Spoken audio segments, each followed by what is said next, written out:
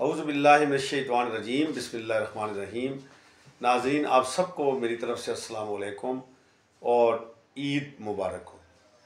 आज का दिन खुशी का दिन है और आप सबने नमाज़ पढ़ ली होगी।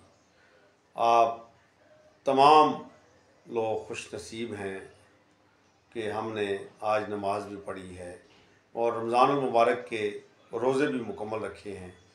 और ये सबसे बड़ी इबादत है रमज़ान मुबारक का बाबरकत महीना रुखसत हुआ।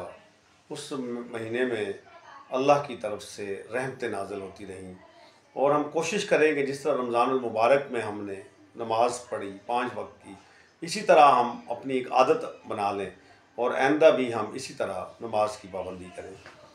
ये आर्जी ज़िंदगी है, हम सबने चले जाना है और आज का जो दिन है, खुशी का दिन है हमें कोशिश करनी चाहिए कि गरीब लोगों को भी अपने साथ इस खुशी में शामिल करें, उनकी मदद करें, ताकि वो भी हमारी तरह ईद सही अंदाज में, सही तरीके से गुजार सकें।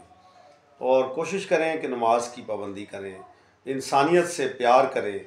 जब हम इंसानियत से प्यार करते हैं तो अल्लाह ताला खुश होता है और इंसान से मोहब्बत करने से अल्लाह ताला खुश होता है। हम किसी का दिल ना दुखाएँ, अपने दिलों को साफ़ करें मुनाफ़त ख़त्म कर दें, सच बोलें, झूठ से परहेज़ करें तो यकीन करें हमारी दुनिया और आखरत समझ जाएगी।